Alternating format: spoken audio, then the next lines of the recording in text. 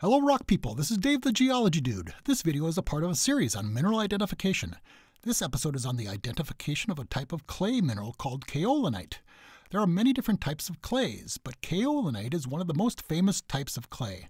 It is widely used in many products, including dishware, medicine, and even in food. In fact, there is a good chance that you may regularly eat clay too. Parts of the video are from a college class I taught years ago. I certainly look young in this video. I hope that you enjoy it.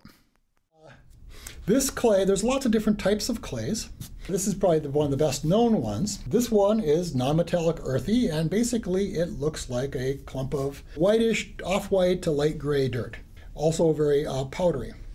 Uh, so this would be, uh, so it can come in different colors. Kaolinite is a very useful product.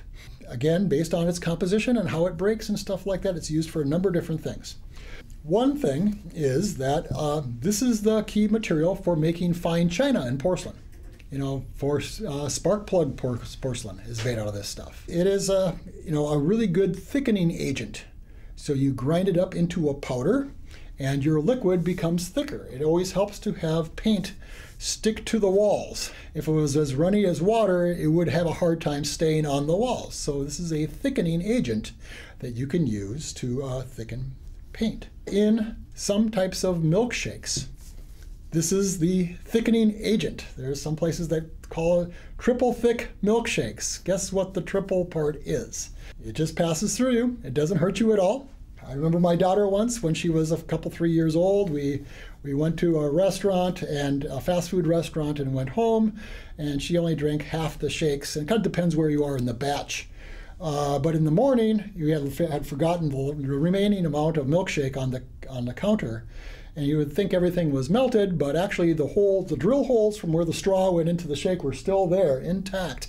In the morning, there was so much clay in the shake, so that's why the the shakes are so much thicker than regular ice cream shakes, because they have this as a thickening agent no problem. You know, it passes through you. Okay, but uh, you know, it's but it's if you like that thick, thick shake, that's the stuff is also used in medicine. So it's like I said, it's a thickening, binding type of agent. So say I'm sick, say I have diarrhea and I need to bind myself together. Okay, I'm obviously uh, going to the bathroom quite a bit. Well, I go to the drugstore and I buy a product called kaopectate, which uh, has kaolinite clay as an active ingredient. So uh, you're paying the big bucks for uh, kaolinite, and uh, you know you can just go to a local shake shop uh, maybe to help solve that problem in a more tastier way. It's uh, useful for that. It is also, uh, you know, basically likes to absorb materials as well. Uh, like I said, it's sort of like a thickening agent. It's the active ingredient to uh, kitty litter, okay, for the secret clumping agent. Okay, so kitty litter has this stuff in it. If I have a drippy oil pan on my car, you know, I want to absorb that stuff off my garage floor, I will put this stuff down. And so just don't confuse it with the stuff in the triple thick shakes, okay? So, but uh, the way you identify this, uh, obviously this is uh, earthy in luster, but uh, because it likes to absorb water, uh, it will, you know, I have a wet tongue in my mouth, of course. It's going to want to absorb the moisture from my tongue. Just like the salt crystal for halite, I dab it against my tongue and uh, it tastes salty. This is going to want to grab onto the moisture of my tongue and kind of stick to my, my tongue. So I just, just dab it on the end of your tongue. Uh,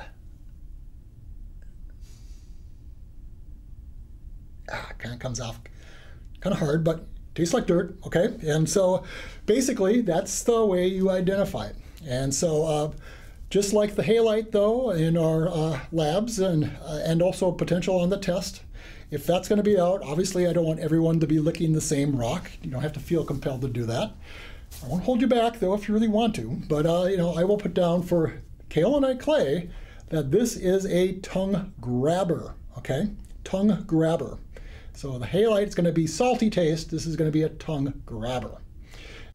Years ago, I had a geology field trip to a kaolinite clay pit. One of the students on the trip collected some bone dry kaolinite directly from the mine.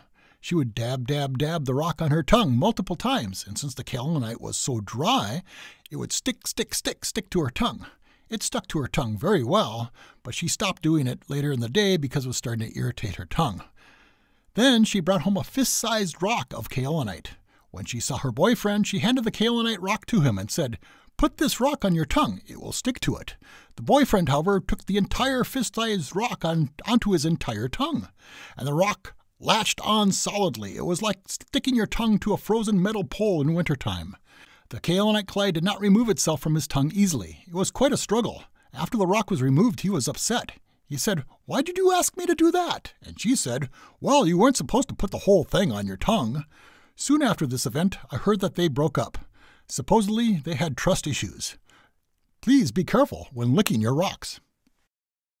And uh, it's also used in, uh, you know, modeling clay. Like uh, when you were in uh, grade school and stuff like that, you were making your little uh, pots, rolling your little coils and stuff like that. Well, this is the ingredient to make those things, is out of this. So lots of different things. You know, it's in medicine, it's in milkshakes, it's in kitty litter, it's a thickening agent, fine porcelain, all those things. This is what this stuff is, kaolinite. All right.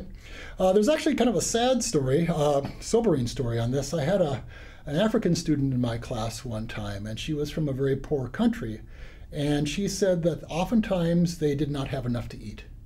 And so they had hunger pains. So, what do you do with your hunger pains? Well, they called this kaolin, where they grew up. And so they ate this stuff to fill their stomachs so they wouldn't feel hunger pains when they didn't have enough to eat. And so, uh, you know, that's a sad fact of how some people have to live. So they... Years ago, I know someone who joined the Peace Corps. They went to Asia and were assigned to a country that is located between China and Russia. At the home of their host, kaolinite clay was a regular meal supplement. This plate of clay is a picture of what my friend ate. There appears to be two or three different types of clay on this plate based on color and texture.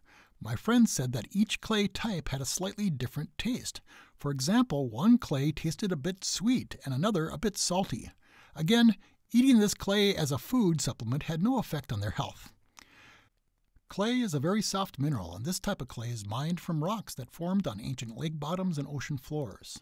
As long as there's no sand in the clay, the minerals contain nothing hard that could easily harm or abrade their teeth.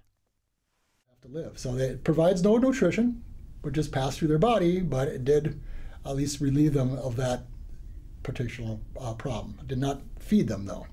And so, uh, so lots of uses of this material. And so kaolinite clay is this stuff. And as I said, this would be a tongue grabber on the test or in the rock box for you to use.